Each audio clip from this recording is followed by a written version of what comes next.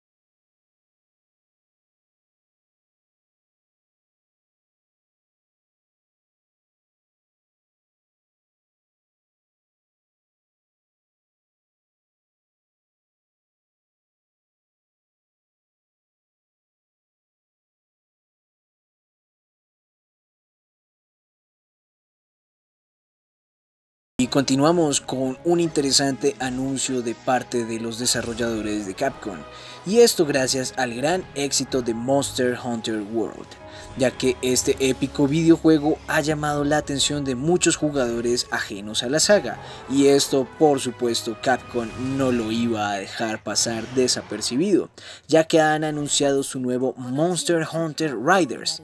Este videojuego está siendo desarrollado de momento para las plataformas iOS y Android bajo la modalidad de free to play, o sea, estará al gratín, pero ya saben que hay detrás. Nuestros queridos y odiados micropagos. Cabe decir que el videojuego te contará la historia de 10 legendarios caballeros que salvaron la Tierra con ayuda de algunos monstruos. Todo esto desarrollado en el continente de Felgia donde te esperan épicas batallas entre tu personaje, su monstruo y otras criaturas.